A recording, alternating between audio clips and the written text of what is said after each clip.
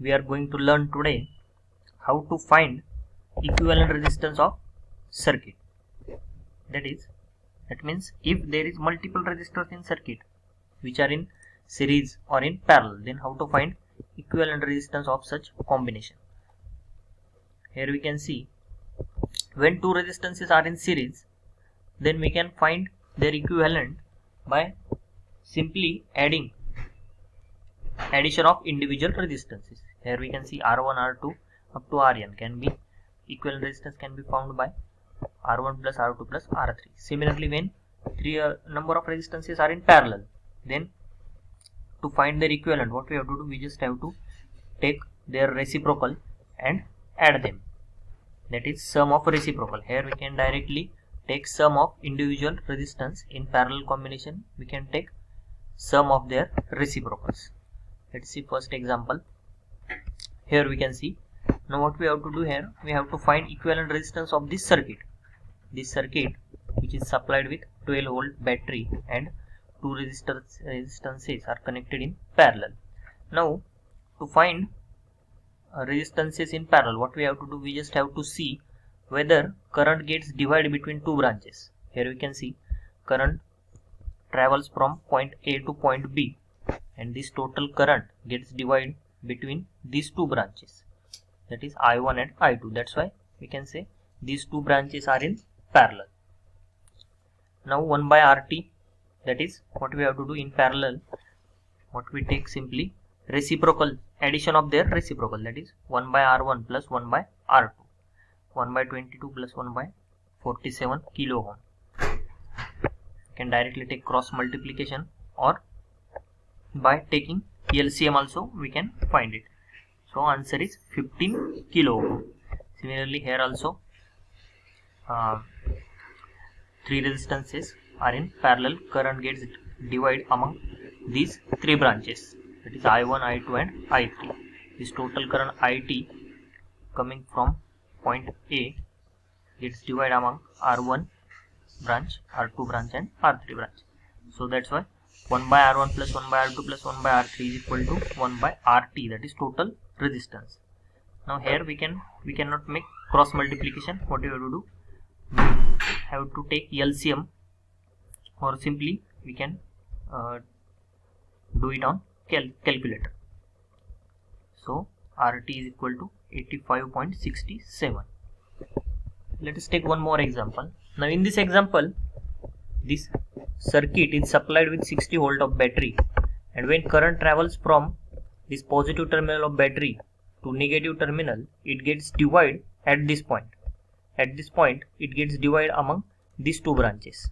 Here we can see these two branches. Again current trap flowing through this this branch again gets divided among these two branches. That is 12 ohm resistance branch and 6 ohm resistance branch. That's why what we have to do first first we have to take equivalent resistance of this branch. That is 1 by 12 plus 1 by 6 which is nothing but 4 ohm. And current which is traveling through this branch this 7 ohm resistor also travels through this 5 ohm resistor. That's why these two resistances are in series. So we can simply take addition of these two resistors 7 plus 5 is 12 ohm. Now resistance of this branch is 4 ohm. We have calculated earlier. And resistance of this branch is 12 ohm. That's why these two resistances again comes in parallel. Here we can see 4 ohm and 12 ohm. Again to find equivalent of these two branches equivalent resistance of the two branches what we have to do? 1 by 4 plus 1 by 12 which is 3 ohm. You can directly take cross multiplication or do it on calci now this 3 ohm resistance can be connected in series with this 7 ohm resistance like this. And now to find equivalent resistance we what we have to do. Again we have to start to travel from positive terminal of battery to negative. and here we can see this current which is flowing through this 7 ohm resistor also flows through 3 ohm resistance. And these two resistances said to be in series. That's why these two resistances equivalent resistance can be found by taking addition of these two resistances which is 10 ohm. So equivalent resistance of circuit is 10 ohm. Let us see one more example. Now here this type of circuit is called as resistance ladder diagram. Now in this circuit this dc source dc source is connected and what we have to do we just have to find equivalent resistance of all these resistances. Now to reduce circuit what we have to do we just have to reduce circuit from the opposite end.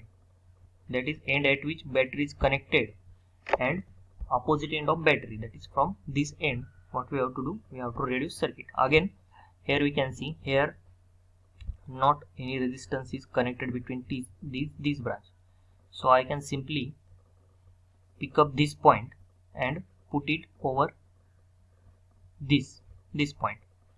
So here we can see. I have pick up this point and put it over this point. That's why these two resistances are now in parallel. That is 1 by 4 plus 1 by 4 which is nothing but 1 by 2 that is total resistance of these two branches is 2 ohm. I have connected here like this again what we have to do we have to start to travel from positive terminal of battery to negative terminal. So here we can see at this point what happens? This current which is flowing like this again gets divided between these two branches. That is this 4 ohm resistance and this 4 ohm resistance so that, so that 1 by 4 plus 1 by 4 that is these two uh, resistances are in parallel. That's why 1 by 4 plus 1 by 4 which is 1 by 2 now this 2 ohm resistance we can connect at this branch or at this branch. So I have connected like this. That is 1 by 4 plus 1 by 4 which is 1 by 2 means 2 ohm resistance I have connected here at this point. So from this circuit again I can see current which is travels like this. Current travels from positive terminal of battery to negative. That is which is travels like this. So this 4 ohm resistor this 4 ohm resistor and this 2 ohm resistor are in series. That is current same current flows through these three resistances. To find whether uh, resistances are in series or parallel what we have to do we just have to simply see if current gets divided between branches or same current flows through resistor if same current flows through three resistor then we can say three resistances are in series. Here this 4 ohm resistance this 4 ohm resistance these 2 ohm resistors are in series. That's why we can simply take addition of these three resistances which is nothing but 10 ohm. So this 10 ohm resistance is connected like this. Here here we can see there is no any resistance between these two branches. These two branches. That's why I can simply say these two resistances are in parallel. That is 1 by 2 plus 1 by 4 which is 4 by 3 ohm. 4 by 3 ohm I have connected here and series resistance that is 10 ohm I have connected here. Again these 4 ohm resistance and 10 ohm resistance are in parallel. If their resistance are present at this branch or at this branch we cannot uh, say this is cannot find this by taking just addition of their reciprocal. But here is no resistance is connected between this branch and this branch. That's why these two resistances are in parallel. I can say calculate by using 1 by 4 plus 1 by 10 which is 20 by 7 ohm and this 4 by 3 ohm. Again now if I start to travel from this positive terminal of battery to negative. Here we can see the same current flows through these three resistances. That's why these three resistances are in series. By taking their addition on calci you can see the equivalent resistance of circuit is 8.9 ohm. Let's see one more example here. Now in this example what we have to do? We have to find equivalent resistance between terminal A and terminal B. Now to find equivalent resistance between terminal A and B, what we have to do, we have to start to travel from A to B or B to A. When I travel from A to B, here we can see these two branches this branch this branch and this branch. These three branches are in parallel. As the total current which is flowing from this branch. Gets divided among this branch this branch and this branch. That's why these three resistances are in parallel. Again the current which is flowing through this 2.5 ohm resistor flows through this 3.5 ohm resistor. that's why these two resistances are in series. So i can simply take their addition which is 6 ohm and connected connect at at parallel of 12 ohm resistor which is and we connect like this.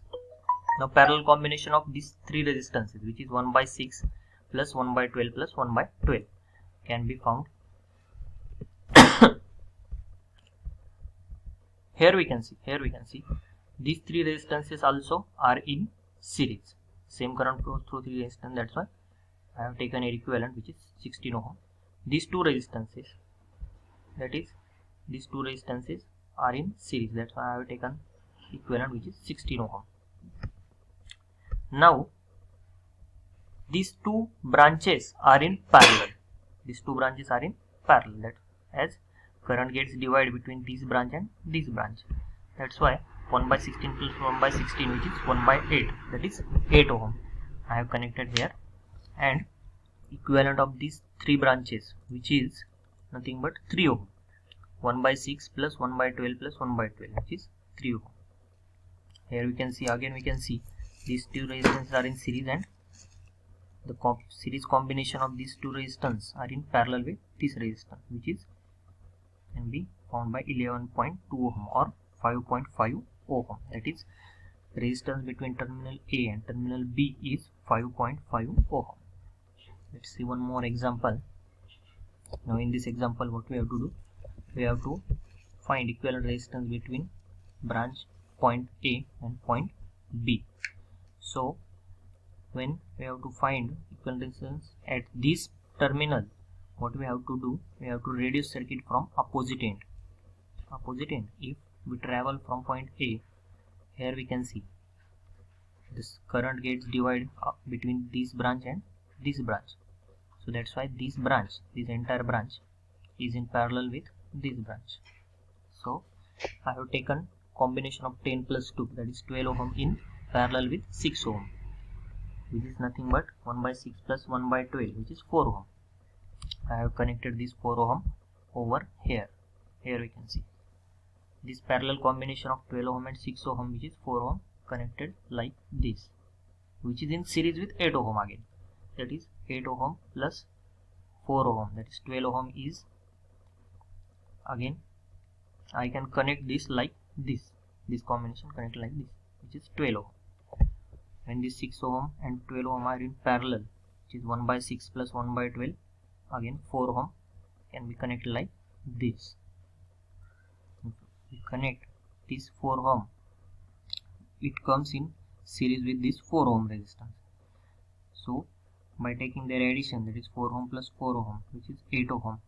This 8 ohm comes in parallel with this 8 ohm. Here we can see. That is 1 by 8 plus 1 by 8 which is 1 by 4 so this 1 by 4 that is 4 ohm comes in series with this 4 ohm resistor. And if we see the current at this point again gets divided among this branch and sorry current gets divided between this branch and this branch. So same current flows through these two 4 ohm resistors and this combination of this series combination comes in parallel with this 8 ohm resistance. So 4 plus 4 8 and this 8 these two branches are in parallel. 1 by 8 plus 1 by 8 again 1 by 4 which comes in series with this 6 ohm resistor and their equivalent resistance is now 10 ohm. This way we can find equivalent resistance between two terminal or equivalent resistance of circuit.